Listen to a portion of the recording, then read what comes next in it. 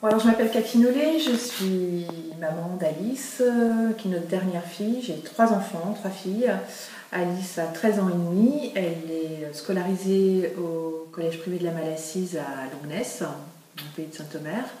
Euh, elle est dyslexique et dysorthographique sévère, euh, ce qui veut dire qu'elle a un niveau de lecture CE1 à peine, CE1, fin de CE1 donc euh, un accès à la lecture qui est très compliqué et euh, des très grosses difficultés au niveau euh, orthographe.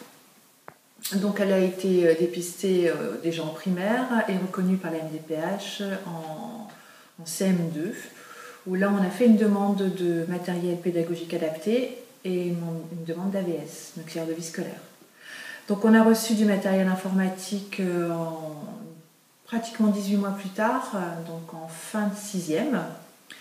Donc on a reçu un ordinateur portable euh, de marque HP euh, qui était euh, qu'elle n'a pas pu utiliser tout de suite puisque elle ne, savait pas le manipuler correctement. il y avait bien Word et on y a rajouté des, des logiciels qui ont été fournis par l'académie aussi, des logiciels adaptés pour sa dyslexie. Donc un logiciel qui permettait de lire à sa place et un, logiciel qui permet d'écrire à sa place. Donc, euh, pour se servir au mieux de son ordinateur, on a, demandé des séances d'ergothérapie, où là, elle a appris à manipuler son ordinateur euh, sous format Windows. Euh, et on a accédé à plein de choses différentes. elle le manipule sans doute mieux qu'un utilisateur lambda. Mais elle a commencé à l'utiliser ici au collège à partir euh, de la fin de cinquième, de l'année de cinquième, et un peu à son début de quatrième.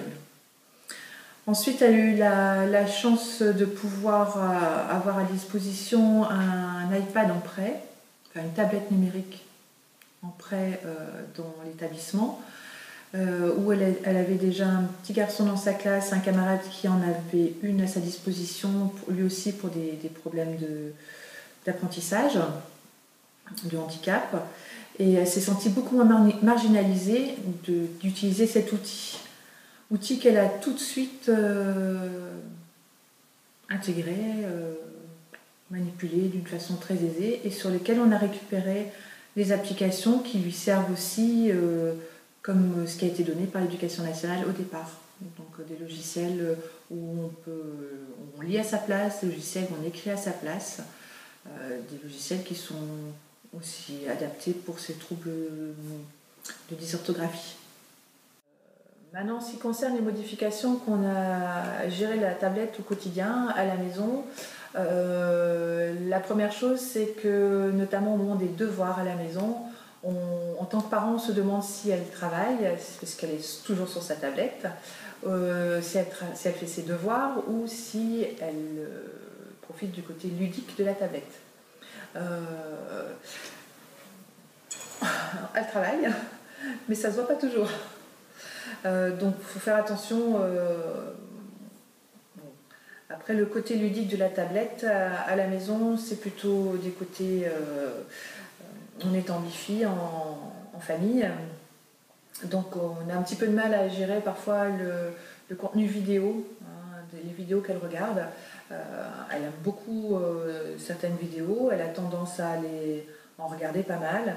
Donc on essaie de gérer le temps euh, qu'elle accorde à, ce type de loisir, entre guillemets, pour que ce ne soit pas au détriment du reste.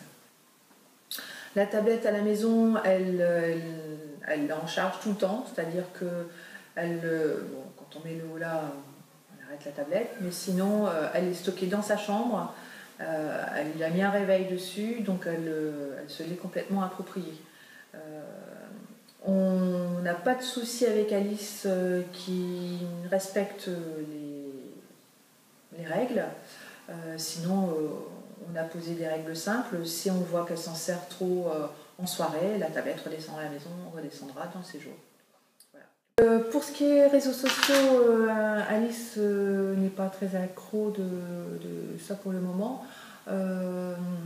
Elle a un profil Facebook, mais qu'elle avait avant, qui avait été créé avec l'aide de ses grandes sœurs et qu'elle avait avant sur un PC à la maison. Donc, c'est pas la tablette qui, qui nous l'a ramenée à la maison.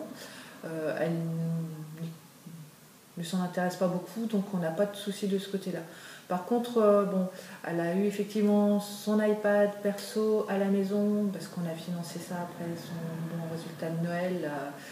Et ça fait un peu grincer les dents quand même euh, les grandes sœurs euh, euh, qui, bah, qui vont arriver à un outil numérique super tendance, super à la mode et qu'elles n'ont pas forcément, auquel elles n'ont pas forcément accès.